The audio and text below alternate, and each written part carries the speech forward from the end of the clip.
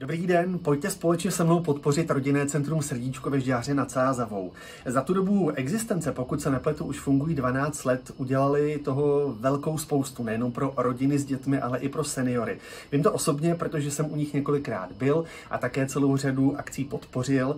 Ono se říká, že dobrých skutků není nikdy dost, tak pojďte společně se mnou teď ten dobrý skutek udělat a Srdíčko podpořit. Mějte se krásně, opatrujte se a doufám, že se brzo na nějaké akci potkáme potkáme. Ahoj.